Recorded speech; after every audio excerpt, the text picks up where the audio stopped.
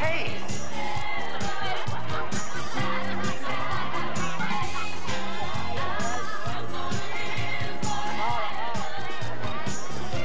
That's me.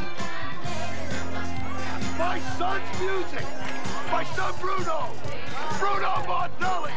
He wrote the music. Today, 46th Street. Tomorrow, Madison Square Garden.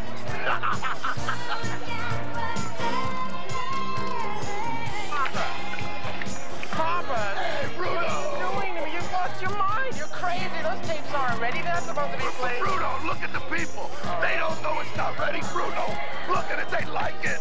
Bruno, they like it. Bruno!